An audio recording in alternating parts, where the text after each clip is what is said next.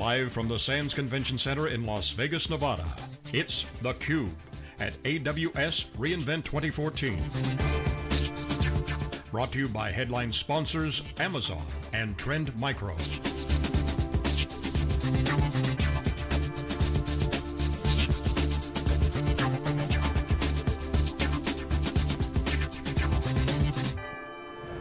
Okay, welcome back everyone. We are here live at reInvent in Las Vegas. This is theCUBE, our flagship program. We go out and extract the signal from the noise. I'm John Furrier with my co-host Jeff Kelly, and our next guest is Bryson Koehler, who's the EVP, CTO, and CIO of the Weather Channel. Welcome to theCUBE. Thank you very much, glad to be here. We appreciate, it, obviously Weather Channel's known by all geeks and anyone interested in weather, certainly when the tornadoes hit. Yeah. I love turning the snowstorms and blizzards, even though I live in California, I relive all the uh, East Coast action, especially those nor'easters, my favorite. Um, but welcome to theCUBE, I know you're super busy. Um, big data and analytics, visualization, this is your Yeah. business. I mean, you're living this. We are. Um, give us a background on what you guys are doing uh, that's cutting edge right now, it's a little history, and Right. a little bit about the Weather Channel operations. Sure. So, the Weather Company actually, which uh, is the, the, the parent company for all of our operations. The Weather Channel, obviously our TV business, uh, most distributed cable network in the US, great, you know, great outfit, um, really unique in the data localization we do. Uh, people love the Weather Channel. Um, the rest of our business, weather.com, Weather Underground, uh, our big API platform that powers uh, you know, mobile apps uh, on almost you know, a billion devices um, around the world. iOS 8 being the default widget on Apple devices. Um, any Android uh, uh, device that has Google Now enabled. Yeah. 170 million downloads of our own apps. Uh, our B2B platform, which powers you know, 48 of the top 100 airlines around the world. Uh, our, our, we're the number one energy and insurance forecasting company. Uh, we're in over 500 uh, broadcast, local broadcast TV stations. So we, we are all about taking weather data and finding ways to visualize it and create Was that the big master plan? Because you know, I watched MLB and I was involved in some early days of MLB when it spun out to BAM, uh, Media Unit. There was like, just get, get, get the apparel on there, get the website going. But really, you see what they've done at the scale. They- They are now the definitive They are. platform. So you guys are the definitive platform for weather, stuff, data. Yeah, MLB, they, they, they've got now businesses coming to them and they're running streams and doing things that have nothing to do with baseball. Yeah, and so, So- you guys are in the same boat with weather data. I mean, GE, for instance, uses weather data Yeah. to look at all kinds of risk management around how they look at their power stations and Absolutely. I mean, it's, it's, it's, it's Weather impacts over a third of the GDP around the world every day. And so the beauty of weather is that there is nothing that isn't impacted by it at some point along you know, a journey, whether it's a person or a business. Yeah, or sales. I mean, It's you know, totally. umbrella sales are hot when so it's the weather, raining. the Weather Yeah. Channel started in 1982, and yeah, the evolution of the business now becoming a big data technology business, um, really helping understand the intersection of consumer behavior and weather. You know, weather was the original big data problem. The, the first computer program on an ENIAC was 25,000 punch cards, and it, it was a weather forecasting model. And ever since then, computer scientists and atmospheric scientists have been coming together to figure out how to make a better, better forecast. So it's safe to say that that whole notion of being a platform and serving other businesses is clearly what you guys are doing. That's Totally at the core of our business. Okay, got it. The Okay. weather platform. So talk a little bit about how uh, some of the, the infrastructure, the technology you're using to, to support all of this data and, and the analytics and then you know, getting that data out to your different uh, customers, service customers. How do you actually support all that? Um, so we've gone through a massive transformation over the last several years as we've really transformed ourselves from being kind of a, a, a TV, cable TV, you know, media business Mm-hmm. into what is really one of the leading big data technology uh, organizations. Um, that transformation started with a pretty deep hole, technically speaking, Mm-hmm. and we've had to dig out of it to be able to build a platform that would enable us to, to grow and do all of the products and services that we've been talking about. Um, we chose AWS as you know, our core partner uh, for providing that. I didn't want to run 13 data centers. It's not the business I wanted to be in. Um, You're in the weather business, I not the want to be in the weather business, I want to be in the atmospheric science business, and I want to be at the intersection of consumer behavior and weather. And I want to help consumers and businesses make better decisions based upon the weather. Um, and so choosing the right tools, clearly Amazon uh, Web Services provides a suite of tools that we can leverage, whether it's load balances, lo load balancing, storage, uh, compute, Redshift, uh, workspaces, I mean, you name it, Mm-hmm. we are consuming it and using it as parts of our business. Bryson, how does that change your job? I mean, let's just let's just go back to reality Yeah. where it was 10 years ago. So, I mean, because that's awesome. You just want to be in that business. It's your business. Data centers off your well, not off your plate. But Not yet. If it wasn't off your plate, right? What would your life be like? Would you be in meetings like discussing power bills and uh, generator replacement, uh, mean- why, why there was water in the generator, you know, gas tank, you know, why the UPS room had a leak in it, you know, you would be stuck in those exciting stuff for you, right? That's not exciting your, yeah, stuff, yeah. right? um, look, as a geek, I love data centers. Data centers are cool. You can't, you get a vibe walking through a data center, but that's not our business.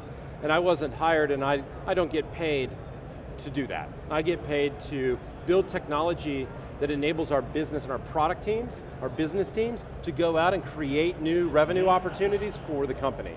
And that for us is a big data platform. It's the ability to ingest, store, process, and distribute vast amounts of weather data, the right. world's best and most accurate forecast, and then you can build Yeah. businesses on top of that. Well, talk about that, the, the agility that AWS provides you in terms of being very, being able to attack new opportunities when they arise. Right. Uh, versus maybe a more traditional approach and how, how much more difficult that might be. Because of course with big data and analytics, it's not about building, you know, finding some insights, trying to operationalize those and then you wipe your hands of it. It's always, you've always got to iterate and continue to find new ways to use that data.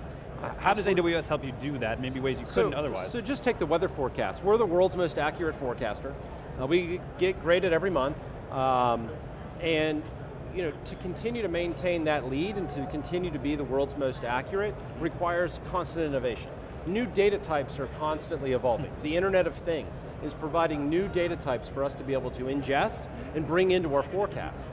We have to stay on top of that if we want to continue to have the world's most accurate data set mm-hmm. for weather. And Amazon Web Services allows me to focus in on those innovations around the algorithmic science of understanding these data sets and how they equate to a better forecast mm-hmm. And allows me to not focus in on racking and stacking servers Yeah. and running cables and you know, deploying all of the normal things. And so I can take my engineering talent and shift it to building these great platforms and mm-hmm. doing things that are scientifically advancing the company forward um, and not doing things that are kind of commodity table stakes. What have you guys done on this? Be specific on your investment. So that you got a lot burden off your shoulders. Now you're investing in some of these algorithms and science and apps. What are you guys building? What's your new cutting edge, bleeding edge area you're investing in to move We have a product forward? called WeatherFX, and WeatherFX is a real-time decisioning engine that helps businesses understand how their, how their customers are influenced by the weather. So if you were to take 10 years of historical weather data and 10 years of point of sale data and mash them together and look at what was the impact of weather last weekend in Chicago on beer sales, so that you could help an advertiser understand where's a good place to spend money and where are you not going to be Yeah. able to change consumer behavior because weather was overpowering. Weather's like the most primal Yeah. decision maker. So WeatherFX is our real-time targeting engine. So do you have that. companies that build on top of that, like the stats application that MLB has, like don't slide into first base, the, the numbers are all there. You guys must have similar companies you're working with saying, here, here's the data. Absolutely, so we, sometimes we provide the raw data, sometimes we provide a tool or an application, um, it depends. So the airline uh, industry, we work differently than the insurance industry, we work differently than the, in the energy trading industry. Um, there are different needs. Sometimes people just want raw data, and sometimes people want a system around them that can kind of tell them exactly what they need to And you sell the data too, obviously, you must get the Right. data. to set the We have a very large data API built on AWS, Mm-hmm. uh, handles somewhere between 100 and 150,000 transactions a second, um, with over 100,000 developers around the world that build applications on top of this data API platform. So we absolutely right. sell the world's best So what's data. the coolest thing you've seen here? Obviously you're up, you're up on the big stage with all the mucky mucks up there, you know, pressing palms, going to all the big parties, VIP. What's the coolest thing you've seen here? You go, you know what, this is awesome.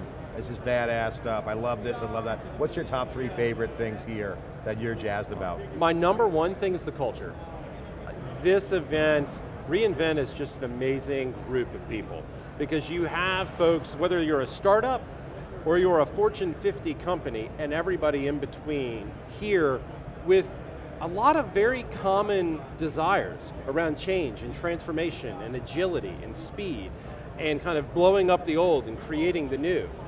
And it's just fun to get that kind of a group together because you get these awesome conversations. And clearly, you know, around us here on the, the trade show floor, there's amazing startups that are doing Yeah. great things with data It's analytics. so democratizing, it really is It so awesome. So I, I, look, to me, there's the nothing VCs better than the culture that is created at reInvent. all the Silicon Valley VCs that's around from are all here. They're all like, not, they're not even like advertising. No one's tweeting, hey, I'm it's not a, not a marketing show. They're like, they're doing deals. And there's some serious business being done there.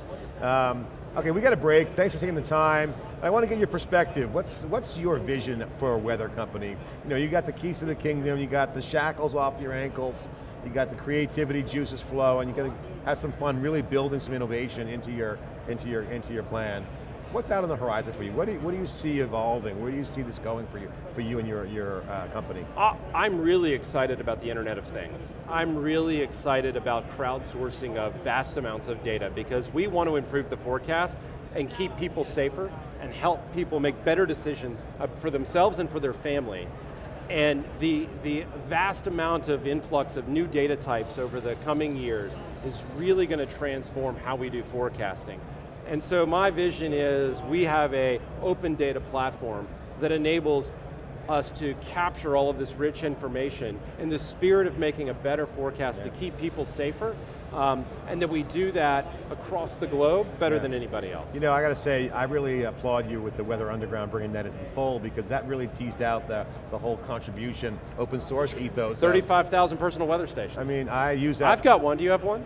No, I don't. I have too many kids We'll to take take, care- of. we'll no, take but care. I live in California, microclimate, huge issue. So like, it could be different in Fisherman's. Wharf and Nob Hill are very different places. So I go right to those stations, man. So, but you guys have a great business model and it's really going to help society and businesses all across the world. So uh, congratulations, thanks for coming on theCUBE.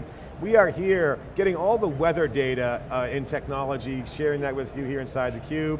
Uh, I'm John Furrier with uh, Jeff Kelly. We'll be right back with our next guest right after this short break.